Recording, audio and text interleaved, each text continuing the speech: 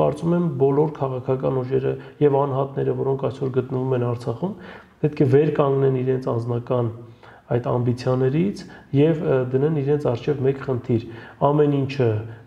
Արցախի համար ամեն ինչը հաղթանակի համար պատմություն պիտի կարդան ու հասկանան որ Թուրքիան իր ձևավորման առաջին օրից Հայաստանի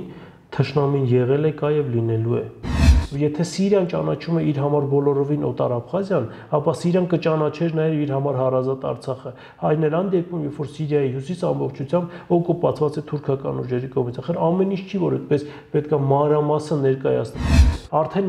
հասել է դրանա, էլ հետ նահանջի հնարավորություն չկա, բայց ելի ոչինչ ման չեն անում։ Այն մյուս դաշնակիցն էլ Ֆրանսիան նույն ազգային ժողովի ղեկավարի դեմքով, այդ կնոջ դեմքով, տեն ժպտալով Կիլիկյան տվեց Քեմալին։